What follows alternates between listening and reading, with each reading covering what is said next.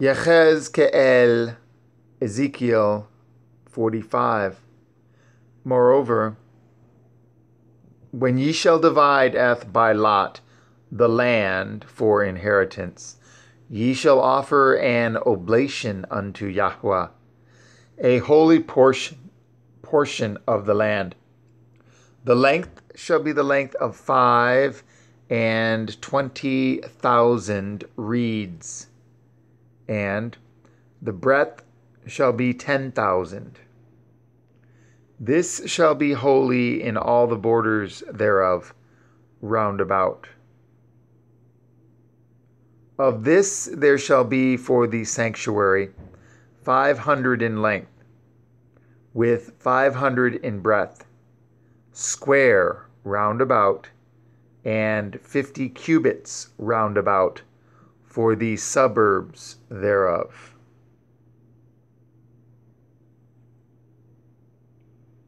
And of this measure shall you measure the length of five and twenty thousand, and the breadth of ten thousand. And in it shall be the sanctuary and the most holy place.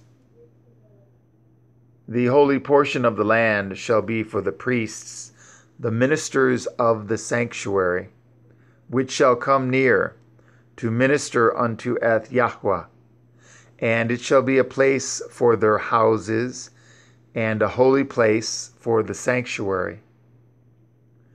And the five and twenty thousand of length, and the ten thousand of breadth, shall also the Leviim, the ministers of the house, have for themselves, for a possession for twenty chambers.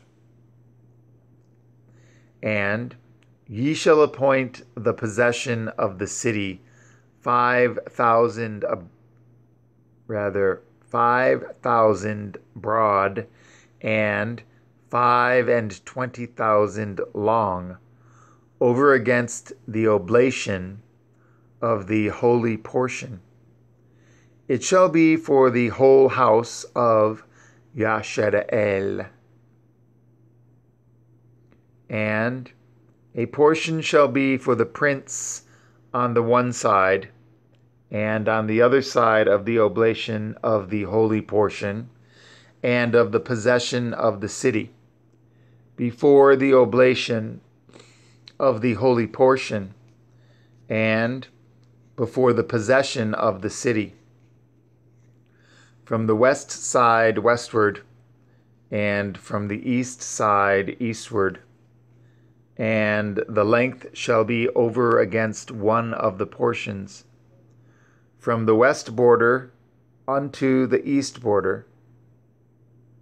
In the land shall be his possession in Yashara'el. And my princes shall no more oppress eth my people, and the rest of the land shall they give to the house of Yashara'el according to their tribes. Thus says Adonai Yahweh Let it suffice you, O princes of Yashara'el. Remove violence and spoil, and execute judgment and justice. Take away your exactions from my people, says Adonai Yahweh. Ye shall have just balances and a just ephah, and a just bath. The ephah and the bath shall be of one measure, that the bath may contain the tenth part of a homer, and the ephah the tenth part of a homer. The measure thereof shall be after the homer and the shekel shall be twenty gerahs. Twenty shekels, five and twenty shekels, fifteen shekels shall be your maneh. This is the oblation that ye shall offer. The sixth part of an ephah of a homer of wheat. And ye shall give the sixth part of an ephah of a homer of barley. Concerning the ordinance of oil, the bath of oil, ye shall offer the tenth part of a bath out of the kor, which is a homer of ten baths.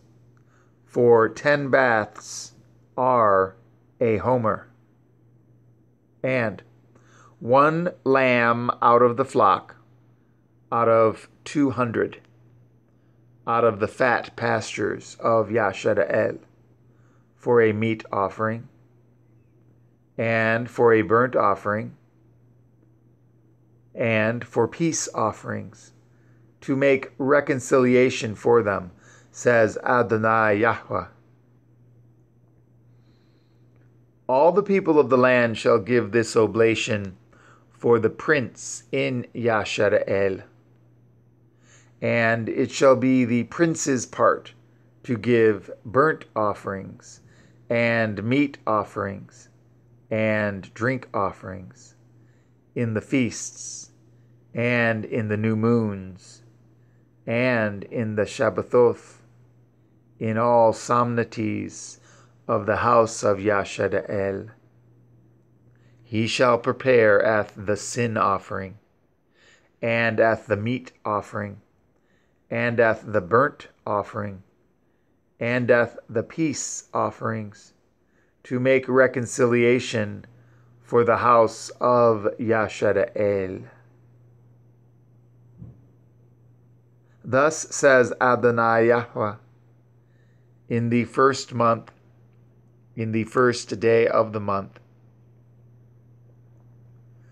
you shall take a young bullock without blemish, and cleanseth the sanctuary. And the priest shall take of the blood of the sin offering, and put it upon the posts of the house and upon the four corners of the settle of the altar, and upon the posts of the gate of the inner court. And so you shall do the seventh day of the month for everyone that errs, and for him that is simple.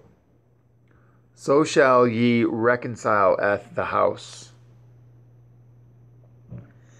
In the first month, in the fourteenth day of the month, ye shall have the Pikach, a feast of seven days. Matzah shall be eaten. And upon that day shall the prince prepare for himself and for all the people of the land a bullock for a sin offering. And seven days of the feast he shall prepare a burnt offering to Yahweh seven bullocks and seven rams without blemish daily the seven days, and a kid of the goats daily for a sin offering. And he shall prepare a meat offering of an ephah for a bullock, and an ephah for a ram, and a hin of oil for an ephah in the seventh month, in the fifteenth day of the month, shall he do the like in the feast of the seven days, according to the sin offering, according to the burnt offering, and according to the meat offering, and according to the oil.